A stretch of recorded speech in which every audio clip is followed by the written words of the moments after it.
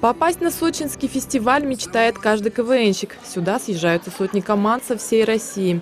Наш регион в этом году представили четыре команды. Так, команда совхоза «Новый» путевку на фестиваль выиграла в сезоне открытой алмазной лиги. Мы приехали к вам из Якутского совхоза. А где наши олени, спросите вы? А вот они! Сегодня серьезное мероприятие. Одели все лучше, чтобы не опозориться. Так я не понял, почему домашних стоишь? Команда совхоза получила приглашение в семь официальных региональных лиг Союза КВН. Ребята строят планы на будущее, все ошибки учли. Мы будем меняться буквально на, мы развернем все на 180 градусов. То есть, если мы сейчас двигались в направлении, что мы совхоз, то есть на узнаваемости, на том, что а вот мы совхоз, мы работаем с коровами, мы работаем с птицами, то сейчас мы будем направлять на весь наш юмор в то, что а, мы а, наиболее экологически чистая команда, так скажем.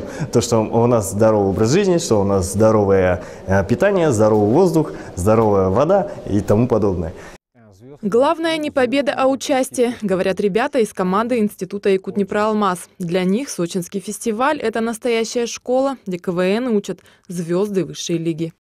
Очень много интересного материала посмотрели, даже вот, ну как форматов, как Да. можно подавать себя, как подавать команду, материал, шутки, какие разные есть формы, что не просто там кто-то представляет себя линейкой, кто-то э, чисто представляет в форме песен, ну как бы разные направления.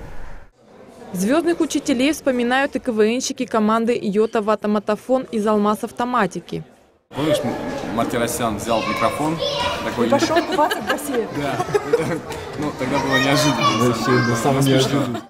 Команда «Йота Ватаматофон» в Сочи второй раз. Говорят, опыт помог добиться им более высоких оценок, чем тогда, в 2015 -м. Ой, в этом году у нас, я считаю, прекрасный результат. Да, мы... э, сколько было команд? 448 команд, которые приехали, и мы попали в... в 109 команд, которые получили рейтинг. Э, Это статус команды получает после прохождения фестиваля, после выступления. В Центральную лигу пригласили и сборную города Мирного. Весной ребята начнут сезон в Красноярске. Сейчас готовятся к четвертьфинальной игре. Толстая девочка на ферме.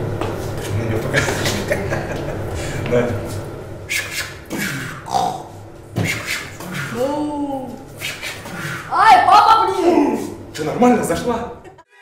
Фестиваль КВН пройдет в этом году и в Мирном. 3 марта все желающие команды будут бороться за право играть в новом сезоне открытой алмазной лиги.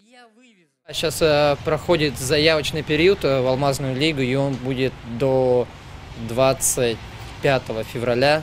И все, подавайте свои заявки, мы с удовольствием примем и будем с вами работать. Елизавета Кочетова, Роман Ларин, Алексей Меркулин, телеканал «Алмазный край».